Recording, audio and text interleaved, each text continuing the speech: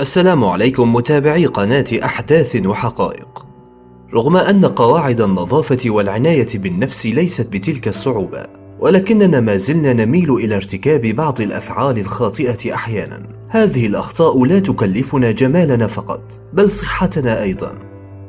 في هذا المقطع سنعرض عليكم ستة أمور يجب الانتباه إليها في النظافة الشخصية. ابقوا معنا. أولا تغطية فمك بيدك عند السعال أو العطس. حينما نغطي أفواهنا بأيدينا عند السعال أو العطس فإننا بذلك نساعد على وصول الجراثيم إلى وجوهنا مما يؤدي إلى الإصابة بالطفح الجلدي والإحمرار وعواقب أخرى غير سارة خاصة بالنسبة للأمراض المعدية. لأن فرك عيناك بيدك يمكن أن يحفز الإصابة بالتهاب الجفون. لذلك يجب أن تغطي فمك بمنديل. ويفضل أن يكون منديلا ورقيا للاستعمال مرة واحدة فقط. وإذا لم يكن معك منديل غطي فمك باستخدام كوعك. ثانيا استخدام وسائل الاستحمام كل يوم.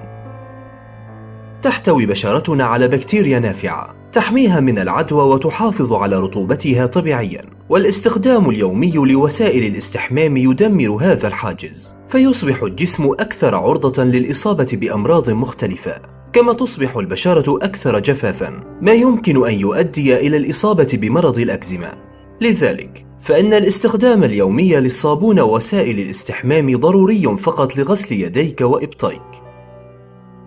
ثالثا استخدام الكثير من معجون الأسنان.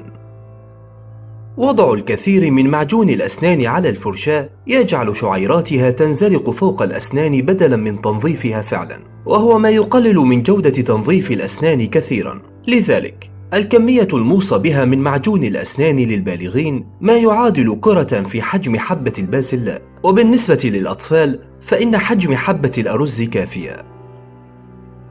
رابعا استخدام الكثير من بلسم الشعر.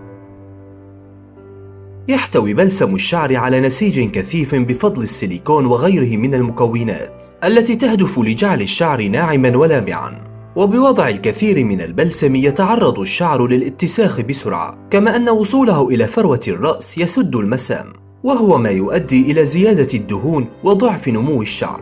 لذلك الكمية المثلى من البلسم ما يعادل قطرة بحجم عملة معدنية صغيرة ويجب وضعها على أطراف الشعر الجاف أو المتقصف فقط. خامسا تقليم الأظافر طبقة الظفر مصنوعة من رقائق متراكمة فوق بعضها واستخدام مقلمة الأظافر يشوه هيكل الأظافر إذ تبدأ في التقشير والانكسار إذا كنت بحاجة إلى قص أظافرك الطويلة قصيها لتكون أطول مما كنت تريدين ثم شكليها كما يحلو لك باستخدام مبرة الأظافر. سادسا مكياج الرموش. يحتوي طرف قلم الرموش وخاصة فرشاة أي قلم تحديد سائل.